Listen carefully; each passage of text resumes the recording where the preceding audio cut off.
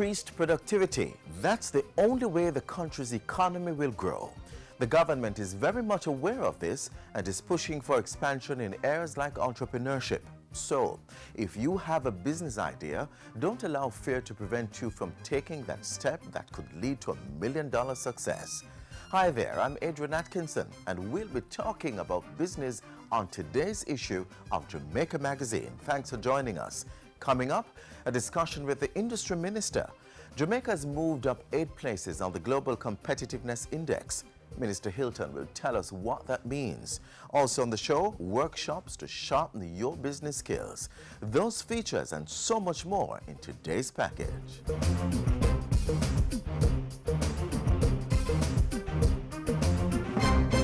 Householders, business people, school administrators, protect yourself and your children from the chikungunya virus. Be on the alert. Help control the mosquito population. Chikungunya is a virus transmitted by the Aedes aegypti mosquito, which breeds in and around your home, workplace, and school. Destroy breeding sites. Empty old tires and all other containers where water can settle. Bore holes in old cans cover water drums and garbage cans. Wash flower pots and vases and clean pet dishes regularly. Protect yourself from mosquito bites. Cover your body as much as possible and use mosquito repellent containing DEET. And if you're experiencing symptoms of chikungunya, a sudden high fever, headache, rash, nausea, pain, stiffness, or severe joint pains, see your doctor or go to the nearest health center.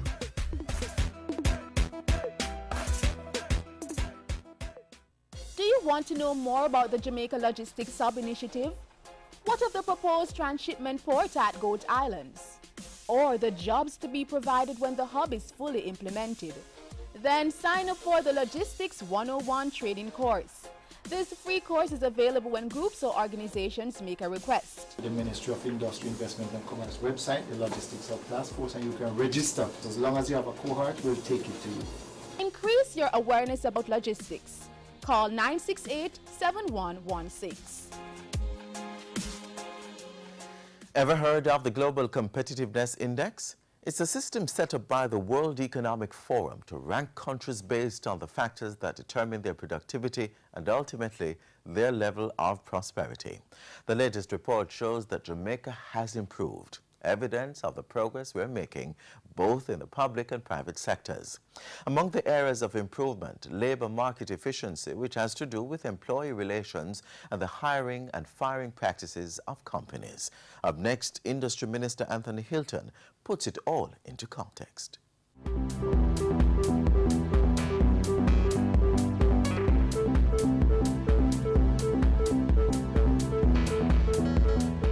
Thanks for joining us for Issues and Answers. I'm Ian Boyne. Today we speak to the Minister of Industry, Investment and Commerce, the Honorable Anthony Hylton, and he'll be talking to us about Jamaica's improved ranking in the Global Competitiveness Report, as well as our progress in the attraction of investment and the building of a strong investment profile in Jamaica. We thank you for your company. Minister, good to have you on. Always a pleasure to be with you. I know you're delighted at our recent improvement in the annual Global Competitiveness Report um, ranking. Well, the country needs to be, all of us needs to be, because it really is an affirmation of the steady focus and the progress of the work being done. And I it's think not a blip at all. Not at all. And I, I find what is significant and what I, what I would um, ask um, your viewers to, to look, look at is the steady rise um, and consistent rise in the index, which really, as I indicated to you before, um, and as I've written, is not a surprise to us mm -hmm. at the ministry or in government because... What is being done to... Because a number of things we have clearly, I think the strategy and the strategy focus is correct. I think that's what it affirms, which is to fo focus on the center um, much of the work we do around logistics and logistics related okay. activity. And now we're not just speaking about the hub.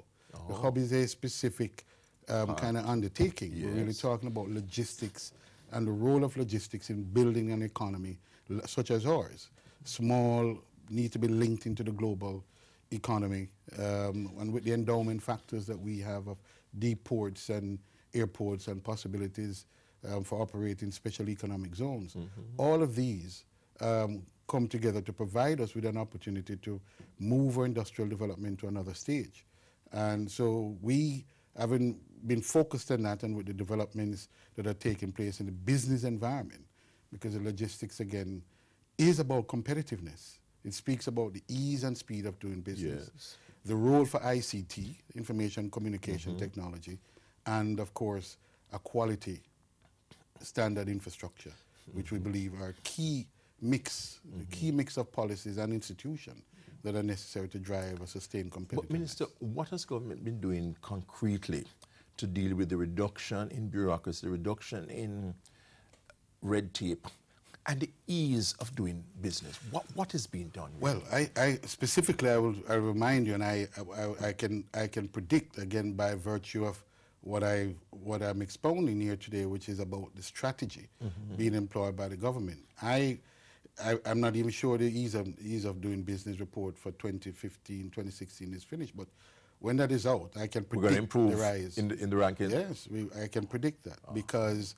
again, there are specific measures that are being taken. And I just need to advert to you and your audience to the security interest in personal property and the collateral registry. Yes. What that is doing to the, the, the business environment, but more particularly um, the business um, the business formation aspects at the com- company's office. Yes. It's now down to four days or less. Online, you can form a company within four days or less, and we're moving to make it one or two days. So that's a concrete Mm-hmm. Yes, expression as, as, as to where we're going and, Yes. and, and we're moving. There's still work to be done, to be sure. The matter of electricity, I know work is being done at MSTEM to reduce that whole measure in the e- doing business report.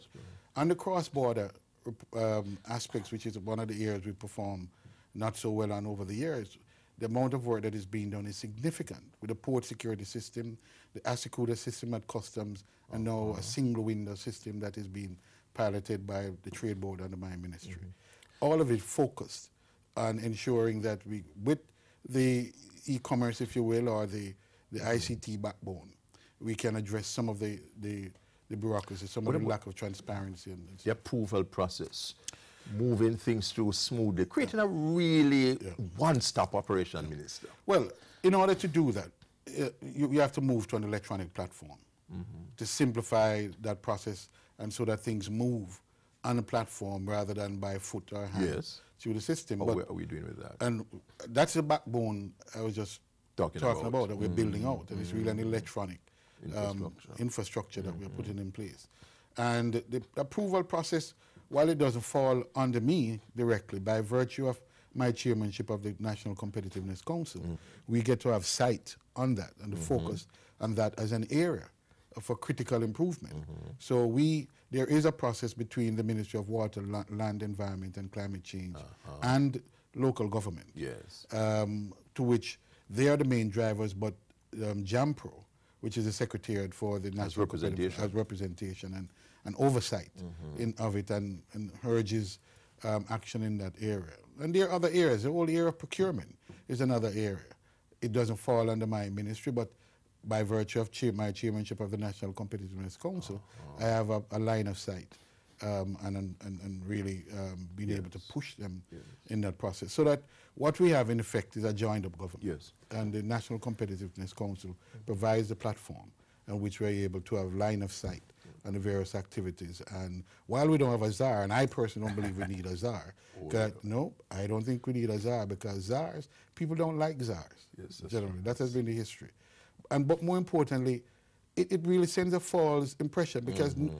there are still checks and balances ah, legally. Yes. And a, a czar can't simply obliterate what is legally yes. um, um, um, restricted or constraining. You really have to build it through reason and collaboration. So what we need is a joined-up government, a Yeah, critical. government that is working uh, cohesively. in symmetry and coherently. Yes.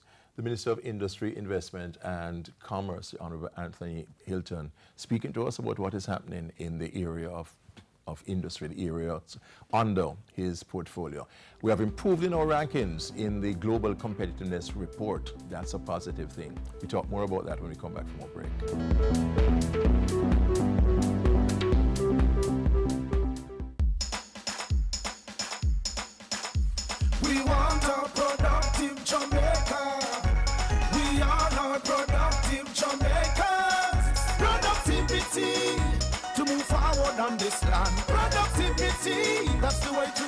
Should understand. Productivity is the way to go for all us Jamaicans. Small business, big business, old and young. We are tell every woman and man. We want growth and prosperity for a better nation with a building plan. So we can build our product and sell our product and put more money in our hand. Our economy can rise to a level and build a better nation. Productivity to move forward on this land. Productivity, that's the way to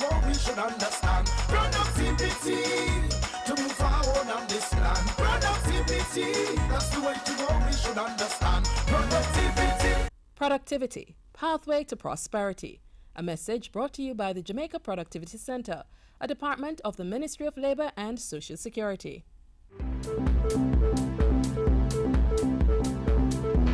Welcome back. We're speaking to the Minister of Industry, Investment and Commerce, the Honorable Anthony Hylton, and a number of things have been going right under his portfolio. Uh, one of the other areas also, Minister, is the uh, investments. Investments have, have improved um, significantly. The World Investment Report has mentioned that. And also there's a logistics report that also um, reported favorably on Jamaica. Let's talk about that. Well, I, I, think what is important is even as we look at the competitiveness report as a standalone, it really doesn't, in, in actuality, it really exists in a context and in an ecosystem, really, which is that, again, the beginning with the focus and the strategy that we're employing around logistics, not necessarily logistic hub, although the logistic mm -hmm. hub is a mm-hmm. specific expression of it, but, the, but logistics in general. We saw where the Logistic Performance Index moved Jamaica up 50 points. Um, the largest jump ever made on that index. 50 points? 50 points.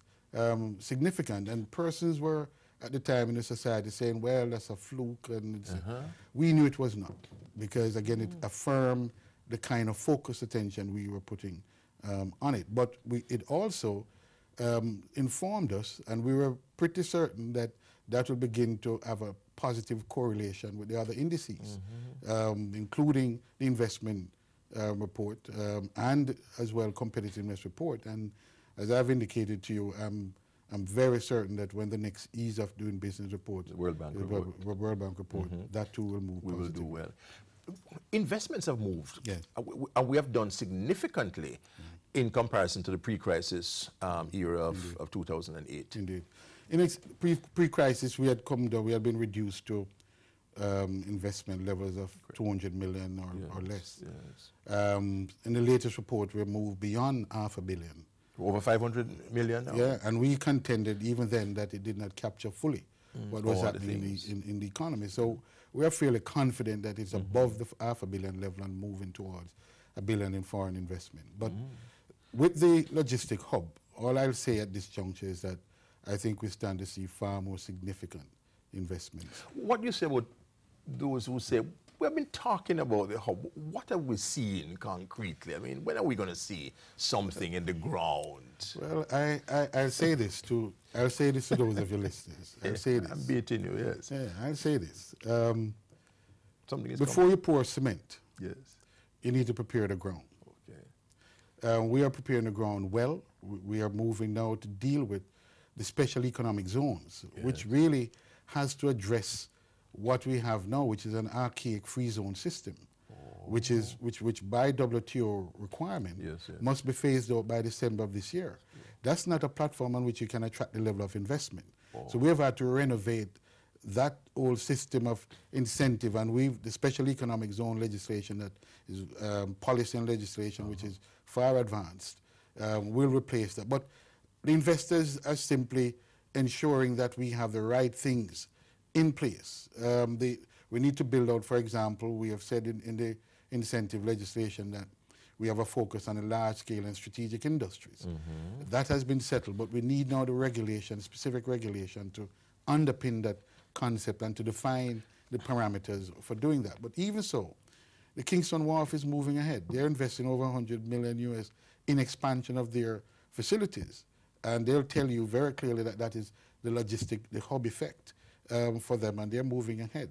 We know what, where we are in the KCT privatization. Mm-hmm. Um, and as I said before, from where we sit, we know of the continuing strong interest um, in every aspect of the logistics yeah. hub. The mobile business clinic, Minister, has just been uh, launched um, recently. How significant do you see this? Very significant because we, have, we, we are engaged now in perhaps one of the most intense period of reform this country has ever undertaken. And with that reform, there are new programs, new ideas, new information. And we need a platform, national platform, not just specific to a ministry or a region, but a national platform in which to engage the public at large. And mm-hmm. again, not only the traditional private sector and the population, the narrow focus around Kingston and Montego Bay. Yes.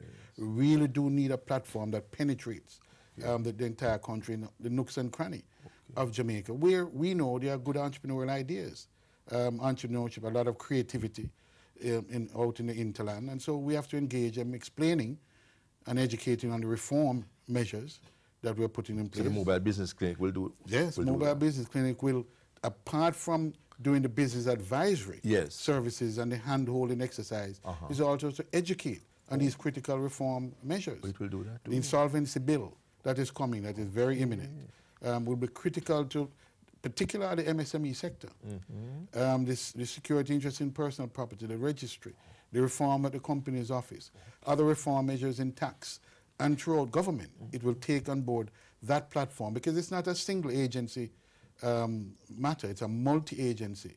What, what JBD, what is anchored at JBDC, which is Jamaica Business Development Corporation, under my ministry, is the platform.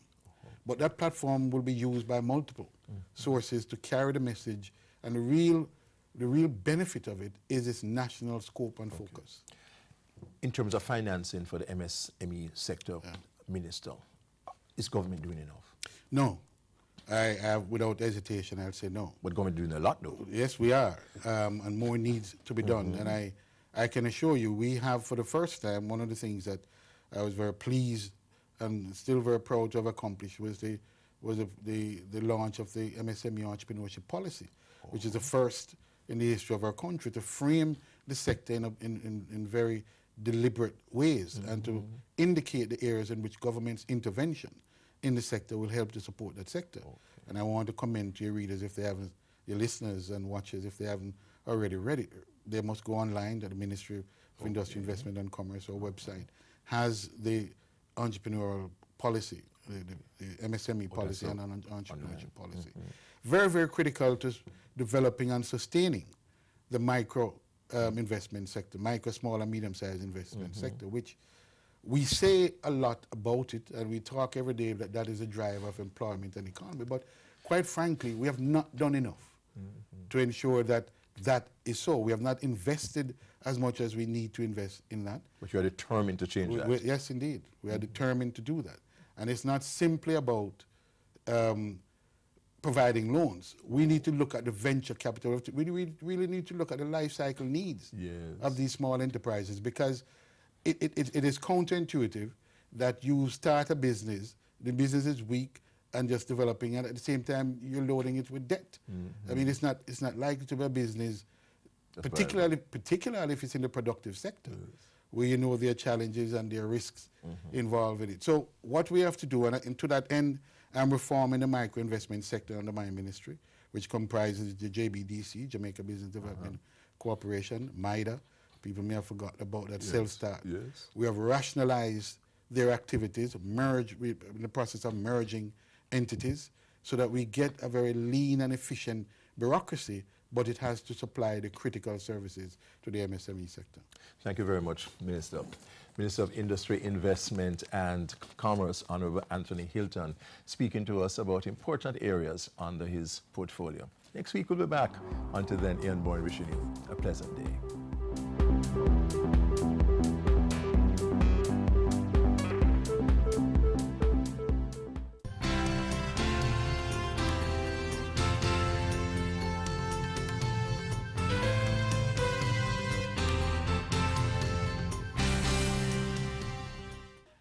Jamaicans, let's celebrate our wonderful tourism industry, which has brought millions to our shores.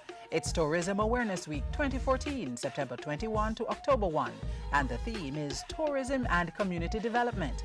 Activities include Jamaica Product Exchange 2014 at the Montego Bay Convention Center, a community tourism fun day at the Milk River Hotel and Spa in Clarendon on September 27, a Tourism Awareness Week church service in Ocho Rios on September 28, and a community tourism familiarization tour in the Cockpit Country Trelawny on October 1.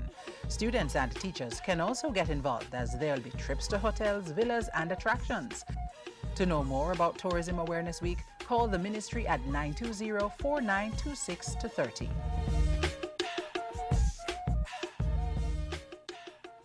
Do you have a hobby that you'd like to turn into a business? Then visit the Jamaica Business Development Corporation, the entrepreneur's one-stop shop. Watch this next feature on the JBDC's Skills Training Workshop.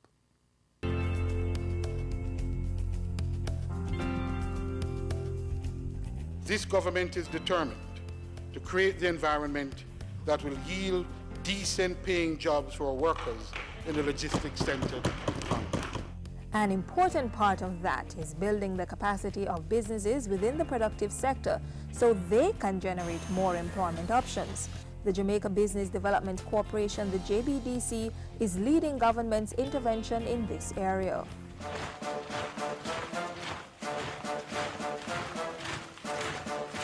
We are empowering our small businesses with technical skills, knowledge, and confidence. This fiscal year, the JBDC is doing that through its capacity building workshops, which provide targeted intervention for entrepreneurs.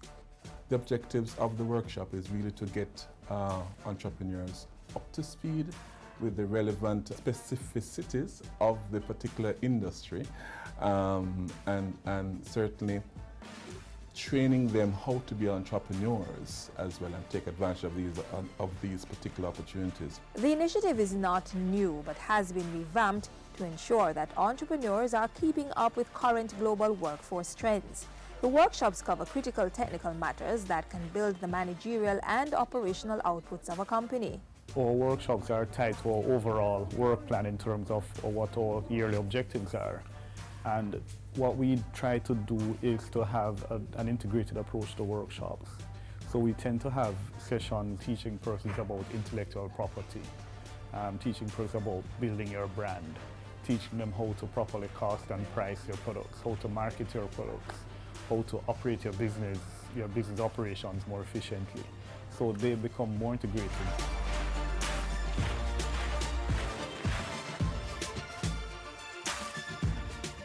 This year's workshops are introducing some unique elements that reflect emerging global trends, like programs in paper flora creation, sand beading, jewelry making, and lavishly leather sandals making. We have also coming up a series of baking workshops and bake product workshops, cake decorating um, workshops. Normally towards the end of the year we have a, a food workshop which is about doing you know all the wonderful cakes and stuff for Christmas and so on. So we have a quite a wide range of workshops. These capacity building workshops are responding to the government's strategic focus on job creation and economic growth. A person would, would have come here probably doing something as a hobby or just as an interest to hear about a workshop and they come here and they would now transition into being their own business owner. We have also seen where we have in other workshops where we have taught people skills. For example, we've had leather craft workshops and sandal making workshops in the past where participants from those workshops have become employees of established um, shoemaking and sandal making entities. So we see it as a direct contributor of employment creation um, where persons can now use their skills to either seek employment with a local company or to use those skills to expand their own um, employment.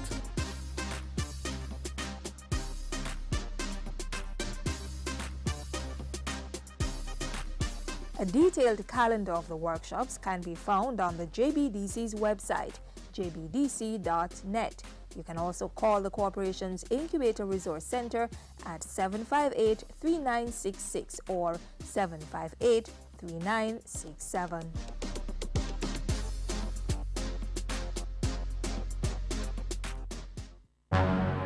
Stop.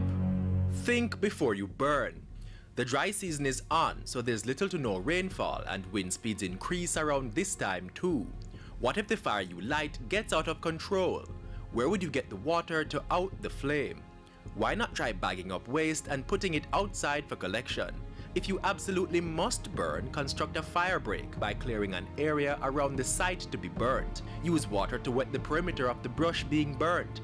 Burn in small piles and be sure to burn one pile at a time. If no water is available, ensure you have some dirt to douse the fire. Remember, take stock of yourself and think before you burn.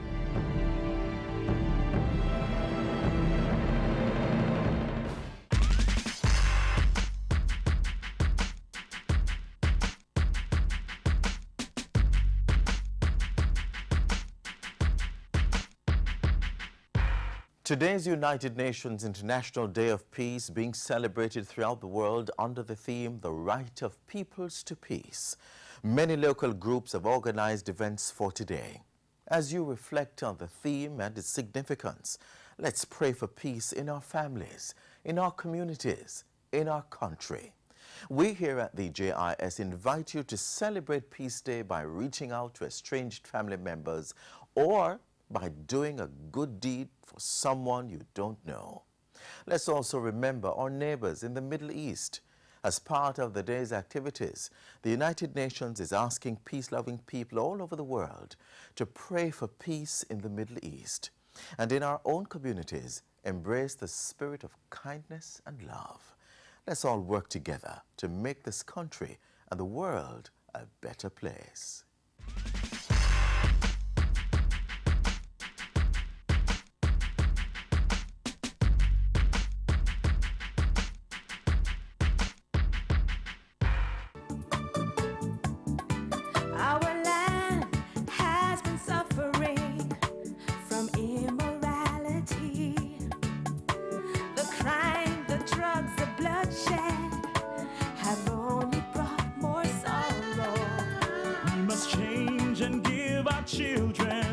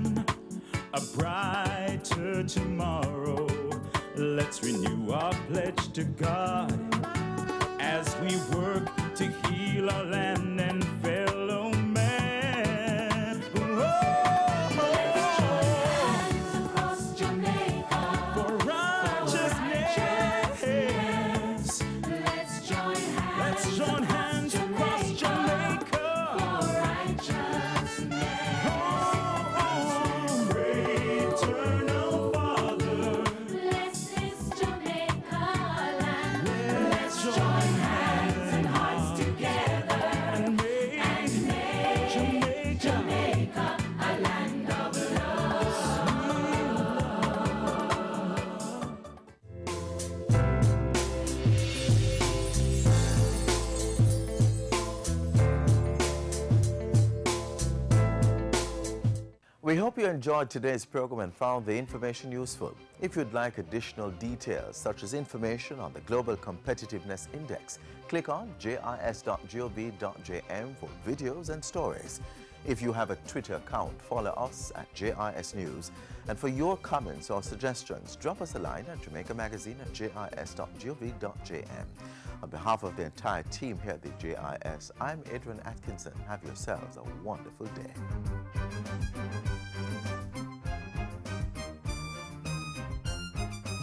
This has been a production of the Jamaica Information Service, the voice of Jamaica.